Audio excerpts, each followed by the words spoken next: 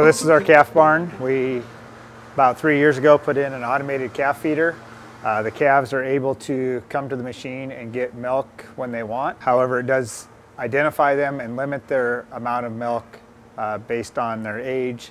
It, it'll give them different amounts at different times. It reads the ear tag and is able to identify the calf. They get that tag when they're a calf and it keeps with them throughout the, The whole life. one? The same one. Nice. So they walk in there, it reads their tag, and then they can just suck on the nipple there, and it sucks it out of the machine from the inside here um, to the calf. And it continually mixes small batches of milk to keep it fresh.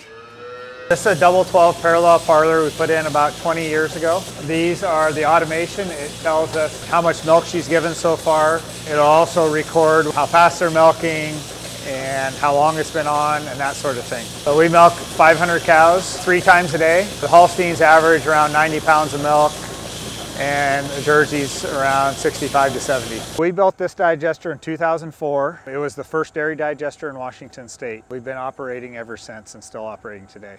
The digester, the manure comes in. In addition, we add food waste to it and mix it together. Once it's in the digester, the bacteria eat on that food and manure and produce methane gas, which then gets collected and run to an engine for electricity.